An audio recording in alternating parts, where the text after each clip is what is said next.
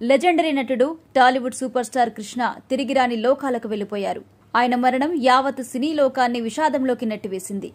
గుండెపోటు కారణంగా హైదరాబాద్లోని కాంటినెంటల్ హాస్పిటల్లో ఆయన తుది శ్వాస విడిచారు.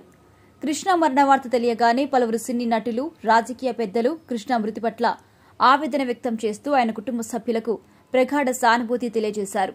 అనారోగ్య సమస్యలతో చికిత్స తీసుకుంటూ కన్నుమూశారు కృష్ణ. గుండెపోటు శ్వాస సంబంధిత ఇబ్బందులతో హైదరాబాద్లోని కాంటినెంటల్ ఆసుపత్రిలో అడ్మిట్ అయ్యారు. శరీరంలోని ప్రధానమైన అవయవాలు ఏవీ పనిచేయలేదు.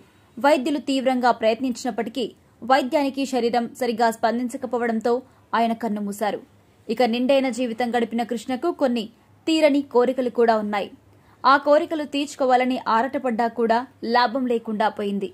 పౌరాణిక పాత్రల్లో ఒదిగిపోయి నటించే కృష్ణకు ఛత్రపతి శివాజీగా నటించాలనే కోరిక ఉండేదట కానీ అది నెరవేరలేదు. కాకపోతే అల్లూరి సీతారామరాజు వేషంలో ప్రేక్షకుల గుండెల్లో గూడు కట్టుకున్నారు కృష్ణ. ఆంధ్ర జేమ్స్ బాండ్ అనే పేరు తెచ్చుకున్న కృష్ణ తన తనయుడు మహేష్ బాబును జేమ్స్ బాండ్గా చూడాలని ఆశపడ్డారట. కానీ కౌబాయిగా చేసిన టక్కరి దొంగ ఆశించిన ఫలితం రాబట్టకపోవడంతో జేమ్స్ బాండ్ రోల్ చేయడానికి మహేష్ మక్కువ చూపలేదని టాక్.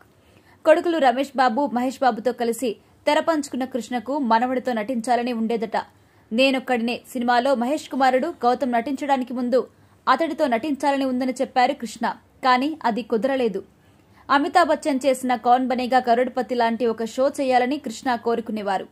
ఒక సందర్భంలో స్వయంగా ఆయన ఈ విషయాన్ని కూడా చెప్పారు. కానీ అది కార్యరూపం దాల్చలేదు. కృష్ణ కోరిక నెరవేరలేదు. ఆయన నటించిన తొలి సినిమా తేనె మనసులు. ఇప్పటి వరకు మూడు వందల యాభైకి పైగా సినిమాలో నటించారు. గూఢాచారి వన్ వన్ సిక్స్తో ఇండస్ట్రీలో ఆయన గుర్తింపు లభించింది. ఇక మూడు వందల యాభై పైగా సినిమాలో నటించిన కృష్ణ దర్శకుడిగా కూడా తెలుగు తెరపై తన మార్కు చూపించారు.